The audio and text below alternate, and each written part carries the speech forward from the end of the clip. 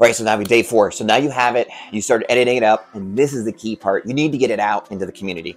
First and foremost, you need a CRM. If you don't have a CRM, go get one. That's the first step.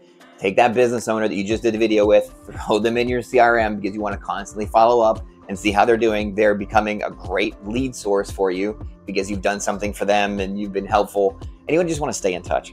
And then you created the content. So now you have a video. Of course, you put it out on social media, whatever you have. If you've got Instagram, Facebook, TikTok, whatever it is, you got it out there.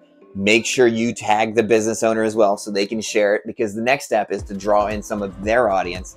They have fans too, and they want to know that you've helped them, that that business owner trusts you. So that way you can get more referrals, get more people, get a bigger audience. Because as people start liking and so forth the video, they're going to jump on your social media to see what other stuff you've got out there too. So you're getting the business owner, you're getting referrals and, and leads from them and then their audience. You're getting leads from them. And then you have your own audience you've already established, you've already got a list of people.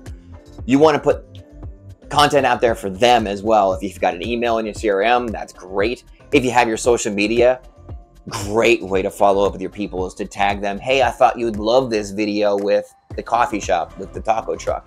It's a great way to just check in with your people, very friendly like, because, you know, we're all kind of tired of doing the phone calls. How's the family doing? How's it? It gets a little old, get a little boring. But you can easily check in with them by just tagging them on your latest video that you just did with the taco truck because you know they really like tacos or they love coffee. Excellent, easy way to follow up with people. So you have the local business owner in your CRM, you're bringing in their audience and you're trying to gain more momentum through that.